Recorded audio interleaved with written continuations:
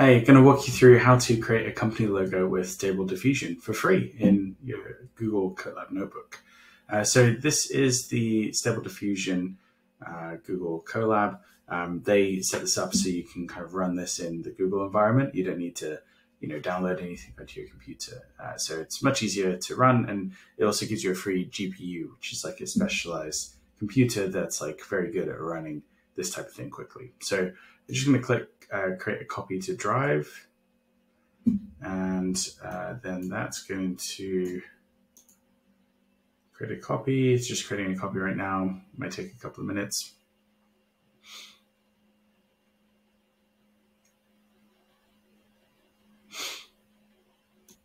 Okay, a copy is created. And we're basically just going to go through this uh, setup process here. So um, now we have this copy, we can call it whatever I want. Um, this is ours now. Um, and uh, we can first run this. Uh, it says it requires higher RAM. Don't worry about that. Um, uh, okay, I'm just gonna get rid of any other, any other sessions, whatever. Um, so hopefully this will run now. Connect. Okay. Uh, so that is connecting. Uh, just to make sure that you're doing this the right way, um, you can just go to change runtime type. So you see this hardware accelerator GPU. That's um, that's what you need to make sure is set to GPU. Okay, now we're connected, um, and says we've got this computer set up here. Okay, cool. So now we can run this. Okay, that's run fine. Um, and then we're just going to go through and run these in turn. Um, so uh, as this is running, you might want to set up a Hugging Face um, uh, an account. Uh, so uh, in order to do this, um, you need to go open this model card up here, um, and you can see I'm I'm logged in uh, to Hugging Face. Uh, but if you're if you're not logged in, um, you'll see something like this. Um, here we go uh, you'll see the model card, and then uh, once you sign up, it will kind of ask you to approve uh, that model card. Um, so once you've done that, um, then then you should be good um, in order to run it. Okay, so so that's run. Okay, and then we're gonna um, create this. Uh, just going to run this. Uh, so that lets you kind of customize the output widgets. And then this is going to log you into Hugging Face. Okay, so um, once you have a Hugging Face account, you can click on that. And then you see I have this token here. You can click copy token. Uh, or if you need to create a new one, just name it and change it to write and generate the token. Um, but I've got that one here. Um, so I can copy that and then paste it in there and then click login. Um, and that will give you this error, but you don't need to worry about that. Um, if, if you get this error, then you know it's, it's working. Cool. So uh, now we just need to download all the kind of model stuff. Uh, don't worry too much about what's happening here. It's basically downloading this stable diffusion model from Hugging Face, uh, which is kind of like a um, you know platform that like holds all these models and data sets uh, that you can use. Um, so lots of really cool stuff on there, and uh, you know it's free to use as well. Um, so uh, so really really good way to get started with AI. Okay, so this is downloading. Um, the next thing we're going to have to do once it's downloaded is um, set up this pipe. Um, so this is basically how it runs everything on the GPU rather than like on a normal computer. Um, and like I said before, GPUs are kind of optimized to do uh, AI really well. Um, uh, and uh, normally they're very expensive to buy, like you know thousands of dollars. So uh, really cool that Google offers this for free. Although um, you know they are starting to try and get people to upgrade to the pro version. So I don't know how much longer this will be free. Okay, so it's downloading all this stuff here. I'm just going to take a little bit of time. I'm just going to pause it while it's downloading. Okay, that only took a few minutes to download. Um, and then I'm just going to run this uh, pipe. Um, so uh, when you're running these things, you need to click play, uh, or what I'm doing is pressing shift and enter uh, when I'm selected in this uh, code. Uh, so now we're ready to create our first image. Um, and in order to create an image, we just need a few things. One is the prompt. So this is the prompt they gave you, a photograph of an astronaut riding a horse. And then it uses this with autocasting uh, to basically uh, run this on the GPU uh, where it'll run faster.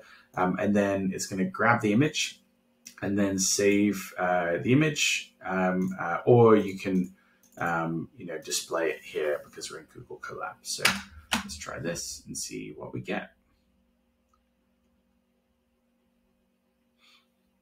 So what it's doing is uh, doing diffusion. Uh, so uh, the way this works is it's starting with a completely random noisy image, um, and then it's kind of running uh, an encoder that um, that basically kind of denoises the picture. So like if you ever restored an old photograph, um, it denoises it, and then um, it's trying to basically um, uh, denoise it in a way uh, that it matches uh, this prompt. Um, so it has like another piece that says, does this match a photograph of a national riding horse? And if it doesn't, then it will keep kind of moving it in that direction until you get something like this. Cool. So uh, it actually, you know, worked. We have a photograph of an national riding horse. Um, and you can do this in uh, DALL-E, uh, which is uh, the OpenAI version. Um, but because um, Stable Diffusion is is open source, it's free uh, pretty much to run it. So um, you know, obviously you can pay more for more compute power. Uh, if you throw more compute power at it, the images get better. Uh, but it's pretty cool to just try it out in here, and then um, if you do want to use a paid version that's maybe a bit more accurate, then uh, you could use uh, DALL-E uh, after you've kind of figured out what prompts work. Um, so uh, now in this uh, section, we're going to use a manual seed. Um, and what manual seed does is it mean this kind of starts the um, the prompt like it starts the noisy image at a certain kind of level of random noise, um, and that means that if anyone who runs the same seed and the same prompt will get the exact same image every time. So before you saw that image of uh, an astronaut riding a horse, um, whereas like this one came up with a new image when we ran it, this one should bring us back the exact same image. So this is really useful. Yeah, here we go. It's the exact same image. So this is really useful for reproducibility. Um, and all you need to do is kind of set the generator here and then push the generator in um, to the pipe like that. Cool. Uh, the other thing we can do um, is uh, kind of choose how many steps. So like, I think the default is 100, uh, but you could set it to be less or more. Um, so this is still setting that manual seed, uh, like we said before. It's the exact same image, uh, but we're doing it with less steps. Um, and that's where you can kind of see, um, you know, just how compute makes a big difference to the problem. Um, it also takes less time to run if you have less steps.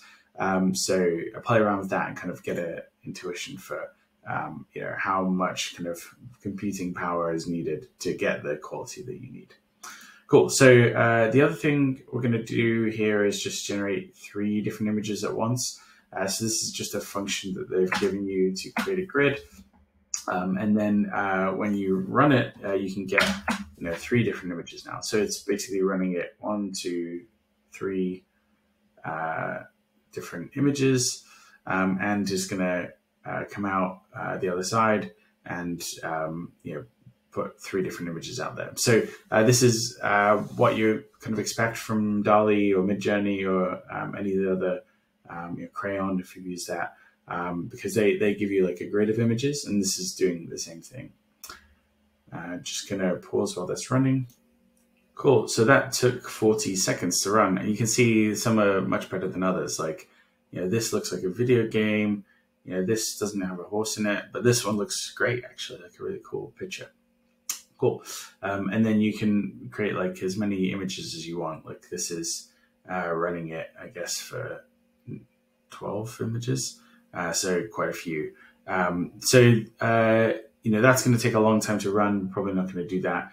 Um, so um, you know, and, and there's obviously like more you can do. Uh, this uh, tutorial keeps going on, tells you like how to change the height and width if you want. Uh, these have to be divisible by eight just to you know you run into an error otherwise. Um, it also explains a lot more about how the model works, uh, which is interesting. Uh, but we're here to do a job, which is to create a new company logo. Um, so uh, let's do that. Um, and we're gonna, you know, take this and we're just gonna, um, here we go, uh, copy the cell and then paste the cell again. Don't need to import torch anymore. Um, we're, we're not going to do this generator, uh, so we're not going to um, set a random seed.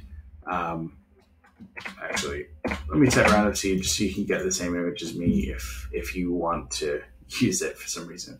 Uh, cool. And number of inference steps, we're going to dial this up to 200 um, because uh, we want to uh, get like a pretty good uh, quality image. Okay, so um, I found it probably the most you can get it to is like 250. I think when I do 300, it starts to complain at me. Uh, I need to use a bigger computer probably. Cool. So um, what do we want? Uh, so we have a shaving brand called Ultra, and um, it's a men's grooming brand. They they do um, shaving foam, deodorant, and uh, we want to create a new logo for them. So um, you know we could say uh, new logo for what's it? New company logo. Logo for um, men's shaving brand Ultra. Um, and we could see uh, what that comes back with. Let's see what we get.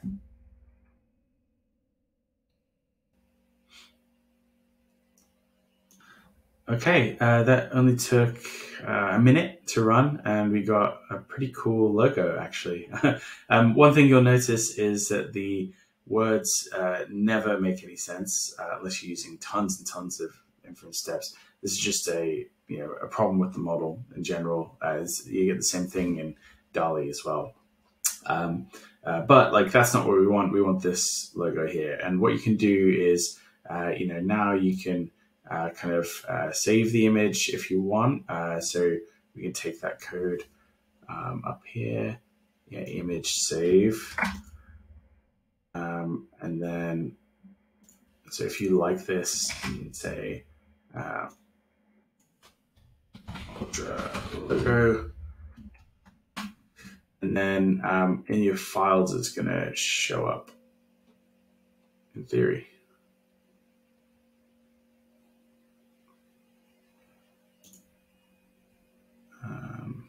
Okay. Oh, here we go. Now it's there. Cool. And then you can just download that and you get it on your local computer.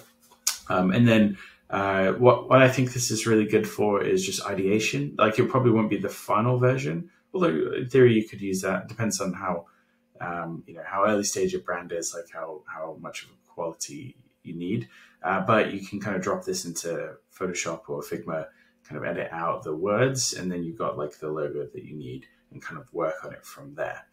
Uh, so um, the really cool thing here is that um, you, as a non-technical, like non-design, uh, non-creative person, uh, you can actually create your own logo uh, for free uh, and and you know, try lots of different styles until you find what you like, and then um, and then go use a human, right? Like uh, it's going to be much easier brief for the designer um, if you just say, this is what I like, can you make like a better version of this?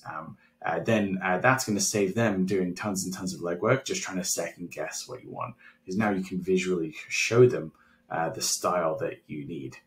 Uh, so uh, should you know bring down the cost of working with the designer by you know 10x. All right, hopefully that was useful.